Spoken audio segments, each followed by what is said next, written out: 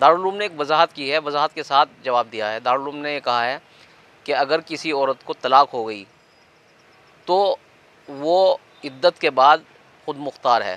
وہ کسی سے بھی نکاح کر سکتی ہے۔ پچھلے شوہر سے نکاح کرنے کے لیے ایک پروگرام بنا کر کے حلالے کی تیاری کرنا یہ جائز نہیں ہے۔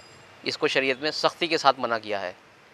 اور باقی رہی بات یہ کہ شادی ہو گئی، کسی آدمی نے نکاح کر لیا اس کے من میں کوئی اس طرح کی ہمدردی پہلے لوگ پہلے نوعیت کو سامنے رکھتے ہوئے کچھ یہ تھی کہ ان کا گھر بس جائے اور وہ اس نے اپنے طور پہ طلاق دے دی اور پھر دوبارہ سے وہ عورت پھر بھی مختار ہے، اس کو اختیار ہے، وہ پہلے شوہر سے نکاح کرے یا کسی اور سے نکاح کرے۔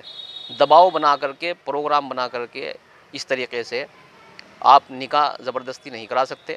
اور عدت کرنے کے بعد خود مختار ہو جاتی ہے۔ اس کے بعد اسے اختیار ہے کہ پچھلے شوہر سے نکاح کرے وہ، پچھلے شوہر سے نکاح تو کر ہی نہیں سکتی جب تک اس کا نکاح کسی اور سے ہونا لازمی ہے۔ اب کسی اور سے جب نکاح اس کا ہو گیا تو اس میں بھی اختیار ہے اس کو۔ پچھلا شوہر اس کو طلاق دے یا نہ دے۔